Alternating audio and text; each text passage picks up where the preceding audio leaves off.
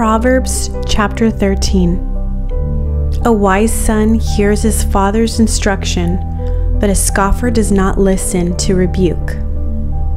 From the fruit of his mouth, a man eats what is good, but the desire of the treacherous is for violence.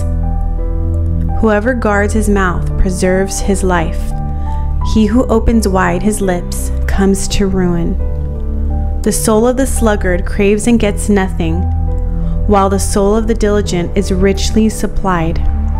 The righteous hates falsehood, but the wicked brings shame and disgrace. Righteousness guards him whose way is blameless, but sin overthrows the wicked. One pretends to be rich, yet has nothing. Another pretends to be poor, yet has great wealth. The ransom of a man's life is his wealth but a poor man hears no threat.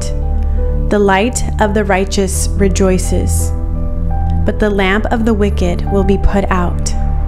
By insolence comes nothing but strife, but with those who take advice is wisdom. Wealth gained hastily will dwindle, but whoever gathers little by little will increase it. Hope deferred makes the heart sick, but a desire fulfilled is a tree of life.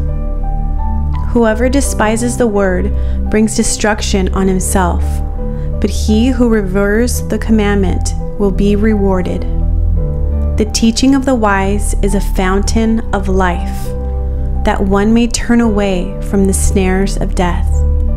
Good sense wins favor, but the way of the treacherous is their ruin. Every prudent man acts with knowledge but a fool flaunts his folly. A wicked messenger falls into trouble, but a faithful envoy brings healing. Poverty and disgrace come to him who ignores instruction, but whoever heeds reproof is honored. A desire fulfilled is sweet to the soul, but to turn away from evil is an abomination to fools. Whoever walks with the wise becomes wise, but the companion of fools will suffer harm. Disaster pursues sinners, but the righteous are rewarded with good.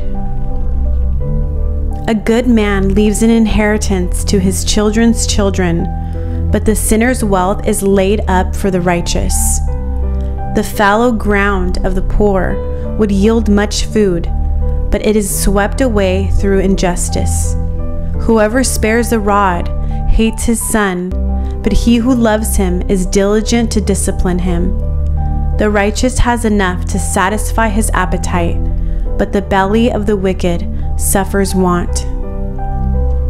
That completes chapter 13 of Proverbs. Thank you, One Blessed Family, for reading along with us and join us tomorrow for chapter 14. God bless you.